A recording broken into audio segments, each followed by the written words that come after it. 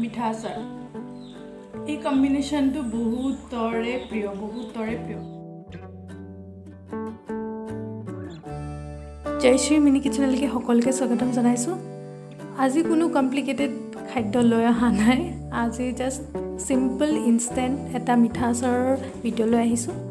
ব'লক আপোনালোকে চাওক আৰু মই বনাম। এইখিনি প্ৰায় আধা কেজিমান কেঁচা আম হ'ব। কাটি কিনে মই বইল হ'ব দিছিলোঁ। পানীখিনি ডুব যোৱাকৈ দিব। প্ৰায় কোমলি গ'লে অকণমান। এইখিনি চেকি কিনে উঠাই ৰাখিব। ৰাখি কিনে দহ মিনিটমানৰ কাৰণে ৰাখি দিব চেকি কিনে।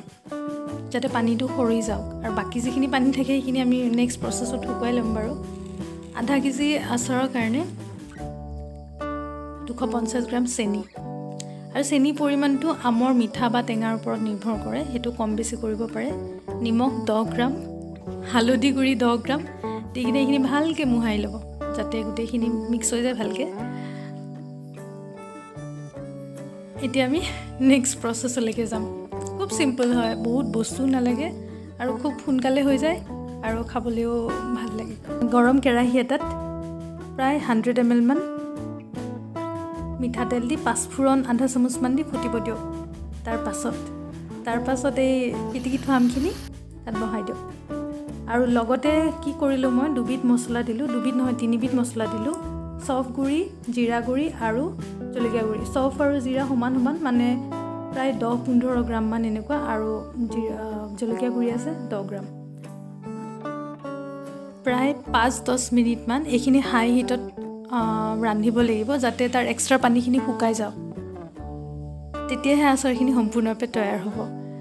চ' ইয়াতে আছে এয়া চাৰি ভাগৰ এভাগ ছ'ডিয়াম বেনজয়েট যিটো প্ৰিজাৰ্ভেটিভ হিচাপে ইউজ কৰা হয় যাতে বহুত দিনলৈকে বস্তুখিনি ভালে থাকক বা আচাৰ বা চৰ্বত এনেকুৱা জাতীয় বস্তু ব্যৱহাৰ কৰা হয়। যদি আপুনি লং টাইমৰ কাৰণে প্ৰিজাৰ্ভ কৰিব বিচাৰিছে তেন্তে ফ'ল' কৰিব আদাৰৱাইজ ফ'ল' নকৰিব এইটো step okay? Then gas off কৰি কিনে ইয়াতে দিছোঁ মই এচিটিক এচিড আধা চামুচ। দিহে এচিটিক এচিড নাথাকে তেন্তে তাৰ সলনি white vinegar twenty five ML use use কৰক। হোৱাইট ভিনেগাৰটো আচাৰৰ কাৰণে বেষ্ট বুলি ধৰা হয় বেলেগ ভিনেগাৰতকৈ। তাৰপাছত মই এইখিনি সম্পূৰ্ণৰূপে ঠাণ্ডা হোৱাৰ পাছত কাছৰ বৈয়াম এটাত ভৰাই ৰাখিছোঁ। আচাৰ সদায় প্লাষ্টিকতকৈও কাছৰ বৈয়ামত থ'লে বেছি ভাল বুলি কয় আৰু প্লাষ্টিকটো এনেও স্বাস্থ্যৰ কাৰণে ভাল নহয়। তো সেইটো এটা কাৰণ।